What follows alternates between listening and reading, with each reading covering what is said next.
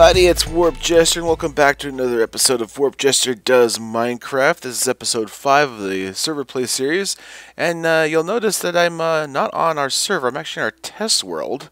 And the reason for that is today I actually wanted to show you uh, some of the logistics that I've been working on uh, for Railcraft, and uh, kind of get you a feel for that. And I have not been doing this uh, by myself, this has actually been a joint effort between me and a really cool chap I wanted to introduce you guys too. Ah, creeper! Oh, hey, oh, uh, hey, Yankee. What's up, Warp?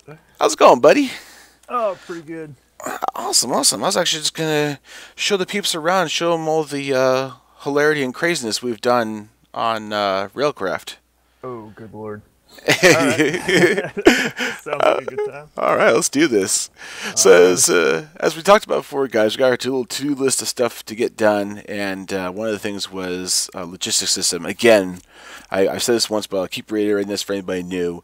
We do not have teleportation on our server, so uh, rail, rail line logistics is a very, very important, very fundamental thing to have. Um, with this system, we are going to be able to move items hither and yon, so to speak, in terms of uh, getting items from different cities to each other, since some cities are going to be specialized in what they give. So, to start off with, um, I was going to say, if you see any kind of rough around the edges uh, redstone work or anything like that, uh, forgive us. This is this world is actually what me and Yankee have used from the very beginning, just to get a feel for how things work we really had never had a chance to play with Railcraft before. So this really is, honest to God, just we started from the very basics and tried to figure out what the hell is this box do? What does this box do? What does this box deal? So do? So to start you off here, first things first, this is going to be, uh, uh, this was a test of rail line management and rail yard management. So you'll see here we've got a whole bunch of controller lights and controller boxes. I'm not going to go into any real depth and detail on these right now. Uh, I might do a how-to on them later. But for now, just understand that the way these systems are set up is between different points. In this case, from that light down there to this light here, they're basically just checking this track. If there's any trains on this track, they'll change signal. Now I'm going to go ahead and put my goggles on here real quick. And you're going to be able to see the linking between these lights and these control boxes. So there's one little red, red uh, dust flowing everywhere. So these can actually monitor and see where trains are and then make sure they don't uh, basically run into each other. So you'll see we've got a train coming up here. This guy's going to have to stop here because this track is still occupied by that train up there. Ta-da! As soon as he clears, then you can take off again. So that's the rail line management. This is basically what's going to be used all along the rail lines coming to and fro different uh, uh, cities. You also notice here we've got a bypass line. This is actually where you have two lines running in parallel. You'll notice faster trains, for example, if there's already a slower train on the line in front of them, they'll hit a bypass line that will stop the slow train, allowing the faster train to bypass before taking off again. So that's the basic rail line management. Then over here, this was a test we set up to try to create basically rail yard management. This the idea of this, of this is when you have, for example, a whole bunch of trains coming into one station or one yard, uh, this will allow the, the trains to be queued up in sequence. We've actually got four lines here, lines 1, 2, 3, and 4 on the inside, and allow the trains to get all queued up inside of here in order. And then additionally, I've got a bypass line. This bypass line is only here because if there's any trains that happen to come in that are longer than these guys can handle, these guys can handle about a 10 train, a 10 cart long train. So if there's anything bigger than that, it'll actually take this bypass line and I'll allow it to go through first and get processed. Um, pretty straightforward in that sense. However, when it comes to logistics of putting everybody in order and making sure that they all take off in order, meaning if you get there first, you get to go first, and you don't get left behind or kind of stalled up because people keep basically skipping in line. You'll see all the red, the red flowing dust here of all the order here. I'm sure is probably a more efficient way to do this. Again, this is just us learning how to use his control boxes and linking. So it looks, it looks pretty pretty frightening here. so this is this is the rail management in the rail yard. Now, once trains get through this queuing system, they're then going to move into the process of being basically put into the, the sorting system and whatnot for fulfillment. The idea behind our system is each individual town being a specialized town, a forestry town, a bee town, a magic town, etc., are going to be able to receive trains from other towns that need the supplies that these towns can create, and these towns are going to fulfill them. In order to do this, however, we need to be able to break apart trains, identify what the needs are, whether it's a particular item out of a chest cart, or say a battery box needs to be charged, or tanks need to be refilled, etc. And to do that, Yankee's got a great little system over here for uncoupling. Yeah, this one was a lot of fun. This actually start started with uh, uh, something Warped was working on, and uh, I decided to take it a, one step further. Uh, basically, the train comes in.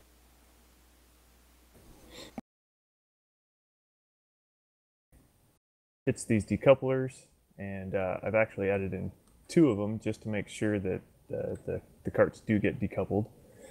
Um, it'll hit this area here, and uh, as you can see, I've got a, a, timer on here. Every time it pulses, it sends one through. Um, now, these these little these little guys uh, in between the coupler tracks, these little tiny arrow ones. What are those tracks called? Uh, they're control tracks, I believe. And these are just like mini power tracks, right? Right. They just push push the cart or, or locomotive if it's in idle mode right on through. Now, one thing I, one thing I do want to point out with these guys is a unique value to them is they actually oh, yes. are redstone switchable, so you can actually make them go backwards or forwards. And they they are interconnected, so if you have three in a row, and you put down a redstone torch, it'll switch all three. Very nice. Pretty cool. So basically, the carts come in here. Once this timer ticks, it'll send them on through. Um, if it's a locomotive, this block here detects. I, I didn't put in any colors. We're just using basic gray locomotives right now, but you can uh, use dyes and dye these for uh, however you want it set up.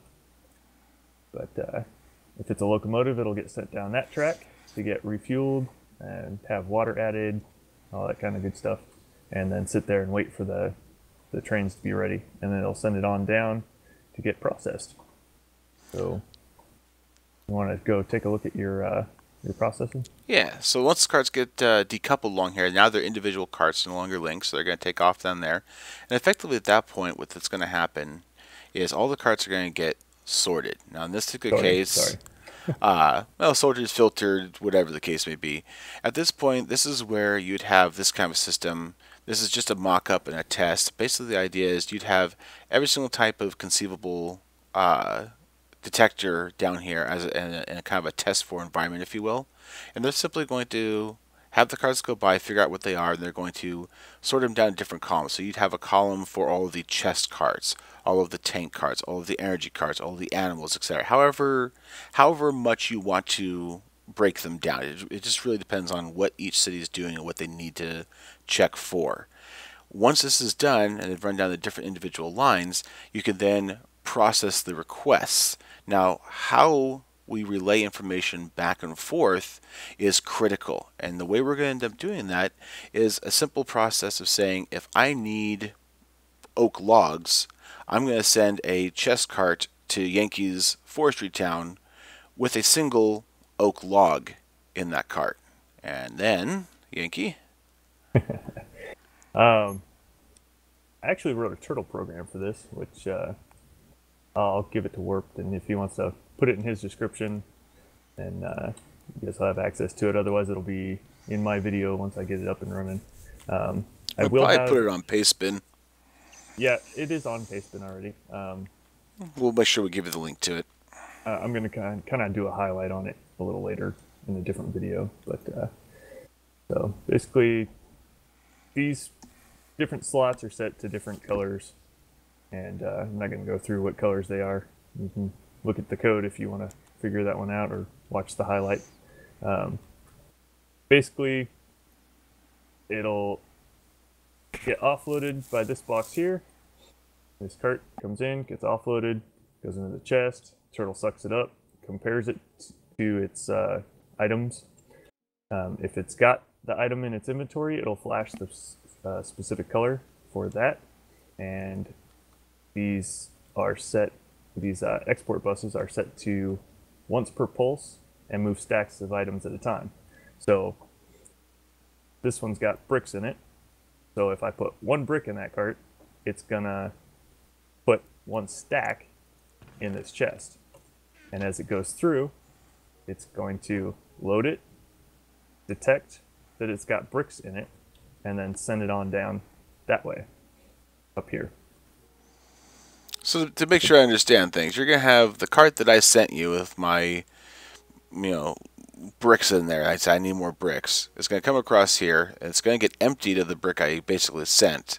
The turtle's gonna see what type of item it is. It's gonna pulse, and basically in this case, brick would be like, for example, black. So it pulse this system, put a stack of brick into this chest. It would then send this cart around, and then fill that cart back up with a full stack of bricks. Right. So what I'm going to do is I put one brick in here in this chest cart, and I'm going to send it to you. It's going to stop there, get loaded with its stack, and go up top. So we'll come up uh-huh. here and double check it. It should have one stack in it. Okay. So for each individual cart, you can put in whatever you want. It'll give you one stack per one item. So if I need 16 stacks, I'd give you 16 brick. Right. All right. So once we've gone through all that process, and again, this is just for the item carts. We still need to flesh out things like tanks uh, and whatnot. But once this is done, all the carts will be sent down this line here. And at this point, the carts are going to be then set back into the train uh, recoupling system. For that, we're going to come all the way back over here. Yay! All right. So it comes from its sorting system where it gets, or uh, it, its loading system. So basically, this would this would be a, a mock-up of what that might entail. Um, gets sent down the line. They come in here, and they're sent down, and they all get coupled back together. And my graphics are tweaking out. Give me one second. Okay. Let me go ahead and flip the switch here. Warped if you want to watch the train. I'm watching. All right. As the timer ticks, it sends down the carts. They go ahead and I've got these uh, train detectors here. And basically, if the train is not long enough, it will hold that that locomotive in place until the next cart cart hits. Once those are coupled, it becomes a one stage longer train and lets it go forward one. And then once the locomotive gets to this point, this train detector here stops the carts from coming down and goes ahead and sends another locomotive to link to the back and then sends out the entire train. So this system right here, you've designed it specifically so that it basically parks a locomotive here, which for the first cart says, okay, this is now a two a two long train. Move it forward to this one. This one says, okay, I'm waiting for a three long. Once the next cart comes down, it links up because okay, now you've got three, four, and so on. Right. Now the reason the reason you did this type of kind of uh, system was for what? Uh, I kind of staggered these a little bit because the carts don't exactly sit right on the line where you would expect them to. Mm-hmm. So you kind of had to finagle it a little bit. Once it gets past, you know, about five or six carts, it straightens out and works fine. So yeah, so um, unfortunately, rail cars don't exactly line up block for block when they're linked together. They're actually kind of a, a block and change, if you will. Right. Uh, and, and, plus, when they're getting pushed forward, they kind of smash together too. So yeah, and the reason, guys, we Yankee has this whole elongate system set up to move the carts forward very slowly is simply because if we just try to run the train across these tracks, across these, these little couplers here, with a whole bunch of carts, it doesn't always link just right. So you have to right. set it up so that it'll stall at every single step of the way so it has time to actually link the next cart in place. Yeah, originally I didn't have all this set up like this. I just had uh, tracks, and uh, we just let the carts go. Um, as soon as the locomotive was in place, it would just dump out all the carts, and they didn't always connect properly. So, uh, it's kind of a, a, a little bit nicer setup.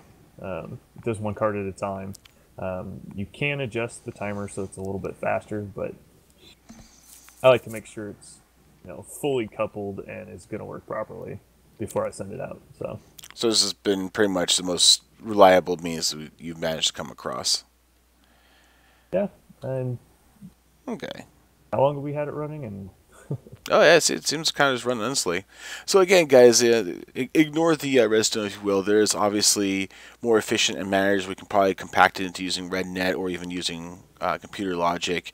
Again, this is just a quick down and dirty for us to get familiar with the system, and try to work out the details. There's a lot of other little bits and pieces along here you'll see. For example, uh, these Relic Quark systems, I'm not even going to try to explain them.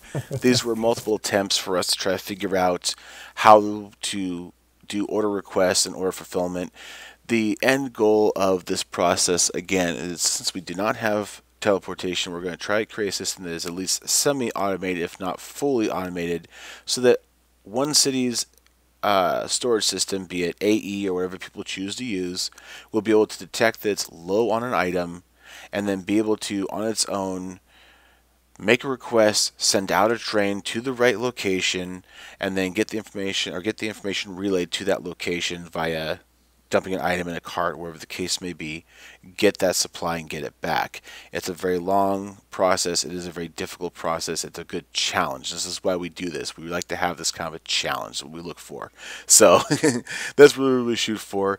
Um, there is a lot of other things down here. This, again, this is our little test world. We haven't been doing primarily railcraft here. However, there is a lot of other uh, stuff we have over here. I might take you on a, a tour sometime. There's my little Christmas tree. Uh, I might take on a tour sometime and show you the rest of the stuff here. Uh, but for now, I'm going to go ahead and wrap it up. As always, we certainly do appreciate uh, you sitting down with us and uh, checking out what we've got. Um, always love to get comments and questions. Please feel free to leave comments down below. Um, I will be happy to respond to you, answer questions I possibly can. And likewise, we'd love to get uh, input. If you know of a better way to do something or have some input on how to make something a little more efficient, a little more compact, a little more reliable, if you've got experience with Railcraft in any real real amount, we'd love to hear from you. Know, we're still very young and new to this in that sense, and we'd love to learn a little more. So please feel free to uh, let us know. And of course, as always, we appreciate the support and leaving us a like really helps us out. It promotes our channel, gets us more people so we can actually get more input and learn more, which is always a wonderful thing. So please feel free to smash that like button. Um, and of course, if you like what you see here and enjoy the uh, series, both in the how-tos as well as the uh, uh, server play series, I certainly recommend you hit the subscribe button. I do try to put out uh, episodes at least once a week, if not uh, twice a week. Uh, Yankee here has started up his own LP series and may do a little bit of server play as well. tell us a little about it, man. Um, well, it's it's definitely a journey. Um, I've never really recorded videos before, so um, hopefully they're not too awful. Where can they find you at on the webs? Um. Ooh, uh, what is my YouTube channel? so uh, Yankee actually um, is a little more traditional. He's actually got his uh, real channel he's using for uh, uh, YouTube recording. He's got a little bit of right. uh, gaming as well as some uh, other stuff on there, and that's going to be uh, youtube.com slash Matthew Vader. There you go. So we'll go ahead and uh, you can go ahead and put a uh, link to that in the bottom if you like. I certainly will. And I will definitely link people back to you. So. Wow, that's always appreciated. So, like I said, guys, definitely check us both out. Uh, go head over to Matthew. He's a, uh, accomplished uh, railcraft aficionado now. He also does some uh, music on his channel, and I definitely recommend you check that stuff out. It's great. Um, and likewise, as always, I said uh, likes help, uh, subscription, you know, subscribe if you like. Um, uh, also, as I said, he is starting his own LP. It is a single player LP. However, he is using the Bottle Rocket M80 mod pack, the mod pack that we're using for the server play. So you can see a lot of the cool stuff. If you kind of got into joining me for the server play a little bit late, even only a few episodes in, and you really want to see what it's like to start off in this world from nothing, uh, you'll love the antics uh, Yankee uh, gets to deal with. Um, so it's a great, it, it, was a very fun episode. This first episode was, was, a real ride to to watch, so I definitely recommend it. Um, and of course, like I said, as we get more uh, server plays up and running, I'm sure Yankee will be back with me as we start building out the system in our actual server. Uh, just so you guys know, uh, Rurark has decided to uh, move out to a remote location and start his own city. He has elected to do uh, ore and uh, rock processing for a city, so we're going to work with him on getting logistics worked out, get a rail line taken out to his town, and start getting this kind of stuff in place. So that's all the news for now. As always, if you'd like to say hi to us, of course, as I said, you can do comments down below, but you can also send us a message or say hi at bottlerocketgaming.com. We do try to frequent the forums and uh, communicate that way. Uh, also, as I as I said before, this is a whitelist server, and this is geared towards other uh, YouTube and new media entities. If you are into into making videos and into making videos about gaming, please feel free to uh, let us know. We'd love to have you on with us. Uh, we do have our uh, Minecraft server play series here. However, we are a multi-game uh, clan. We are geared towards uh, uh, World of Tanks slash World of Planes and other games. Uh, so please feel free to uh, check us out there. Any case, there's Bunny. I'm Warp Jester. That's Yankee. Thank you so much, and uh, well, we'll catch you later. Take it easy. From, from Bottle Rocket Gaming. This has been a lot of fun. See you guys later.